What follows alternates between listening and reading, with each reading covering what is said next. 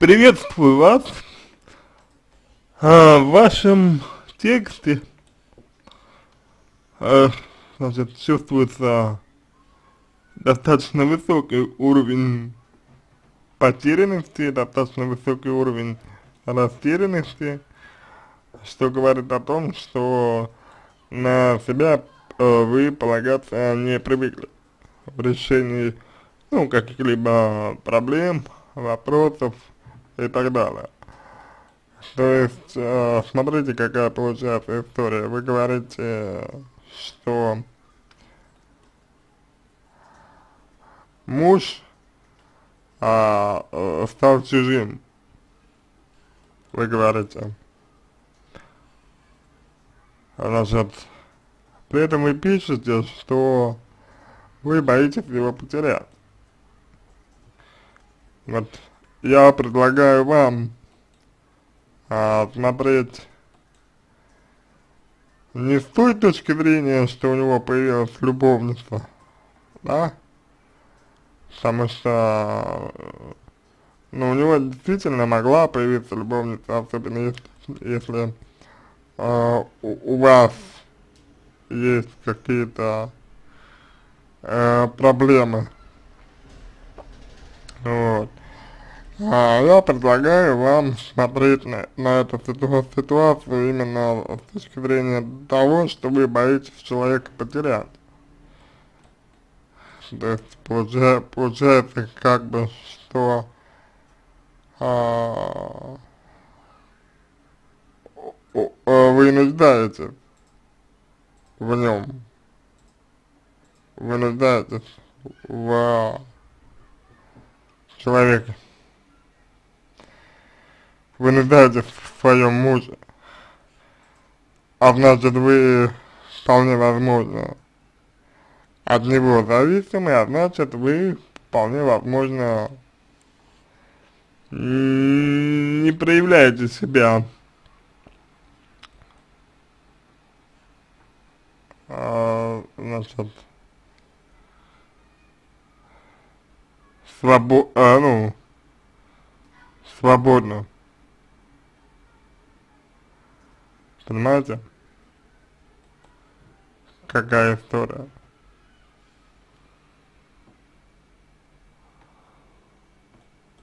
То есть вы себя, да, свободным, свободной э, с ним не чувствуете по ряду причин.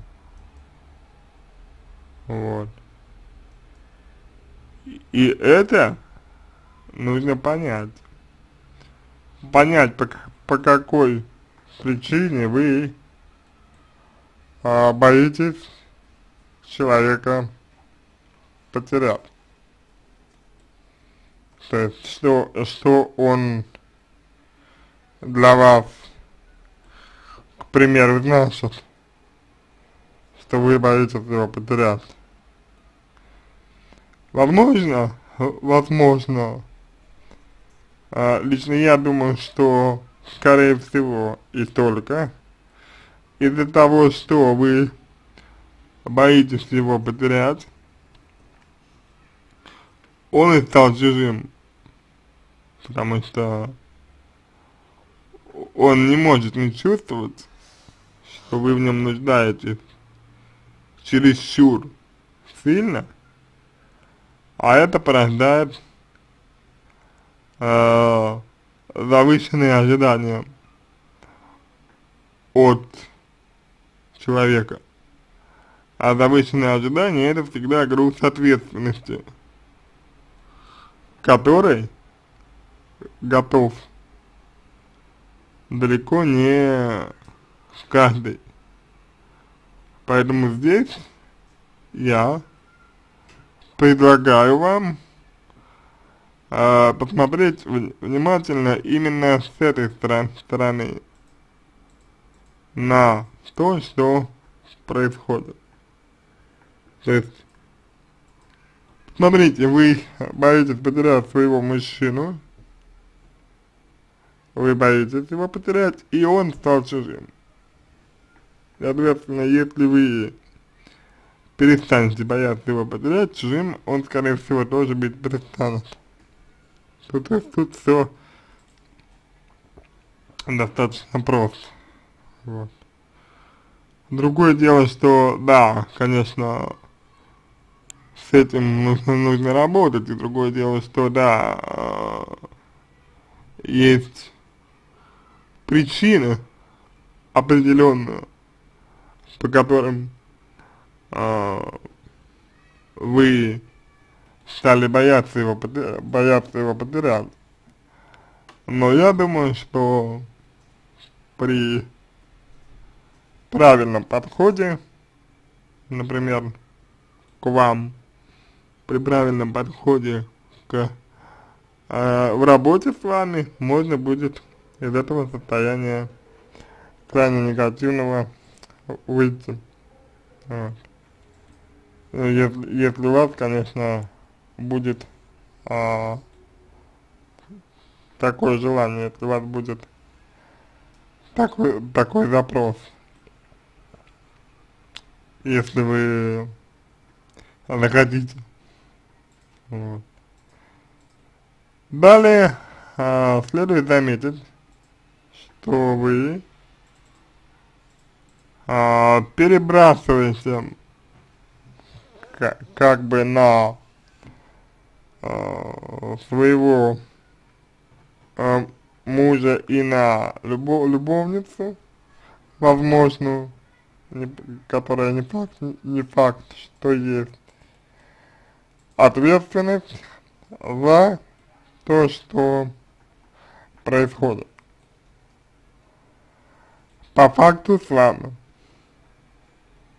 Вот. И, конечно же, здесь очень важно, чтобы вы сами приняли на себя ответственность за то, что сейчас происходит с вами. То бишь, что, то бишь, чтобы вы не обвиняли, например, любовницу, мужа и так далее. Это вы боитесь своего мужа потерять, это вы в данном, в данном случае не находитесь с ним в равноправных отношениях. И, соответственно, именно вам, именно вам и нужно начинать, начинать с того, чтобы становиться в отношениях более независимой, а значит и более привлекательной для своего мужчины, что в конечном итоге приведет к тому, что вы, э, собственно говоря, станете ближе друг к другу. Вот. То есть тут, на мой взгляд, цепочка, цепочка совершенно ясна и понятна. Вот, ну, я, по крайней мере, на это надеюсь, что э, вот та цепочка, которую я привожу, да, она вам понятна. Вот. Дальше э, нужно будет только исследовать, что конкретно э, между вами происходит. То у вас здесь и, и ревность, и страх остаться одной, что лежит в основе ревности, как правило, и отсутствие такого ощущения, что вы в безопасности, вот, и, наверное, излишняя концентрация э, на семье, на детях, вот. Ну, опять же, здесь я могу ошибаться, безусловно. Как, ну, в каких-то моментах я могу ошибаться, да, но в основном я думаю, что том, что, в том, что вы ревнуете, да, нет, нет никаких сомнений в том, что, что вы боитесь его потерять как источник реализации своих желаний, а в этом, в, в общем-то, тоже, на мой взгляд, э, сомнений, сомнений никаких нет и быть не может. Вот. Поэтому здесь я предлагаю вам э, пройти как, как можно более ответственно к этой, к этой истории. И ситуации, вот. И тогда можно будет уже вам помочь, тогда уже можно будет что-то сделать для вас. Вот. Вот примерно, примерно так, я думаю, можно вам ответить на ваш, ваш вопрос, Светлана. То есть, э, больше внимания вам сейчас нужно обратить на себя, а не на вашего мужа. Больше внимания уделять себе, а не своему мужу. Вот. И, соответственно, э, стремиться обрести себя. Да, вот, ну, такую себя, обрести себя такую, какой вы были, ну, тогда, когда начали встречаться, например, да, то есть вот вспомните, вспомните, что привлекло вашего э, мужа, как бы, к вам, или, или вас, вот, что привлекло его, знаете, вот. Ну, я полагаю, что э, совершенно очевидно, что сейчас, вот сейчас, да, на данный момент, э, вы абсолютно не, не такая сейчас, вот, понимаете, вот. На мой взгляд, ну, сейчас вы совершенно другой человек, вот. Понимаете? Мне кажется, что здесь, здесь нет всякого сомнения, а, вот нужно в первую очередь ориенти ориентироваться на обретение себя, вот, снова, то, что вы вот забыли, что вы забыли. Вот, а, на мой взгляд, так можно вам ответить. Итак, еще, раз, а, на какие ключевые вопросы а, нужно получить ответ для того, чтобы а, иметь возможность ре, реально вам помочь. Первое а, с какого момента а, у вас начались трудности с мужем. То есть, когда вы стали а, чувствовать, что он чужой. А, как проявляется тот факт, что он чужой. То есть, как это конкретно проявляется? Чего не хватает вам?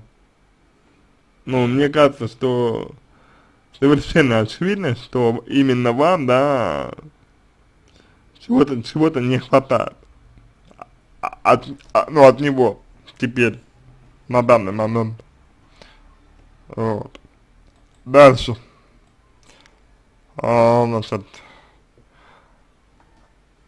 про любовницу вы знаете, что у него есть любовница?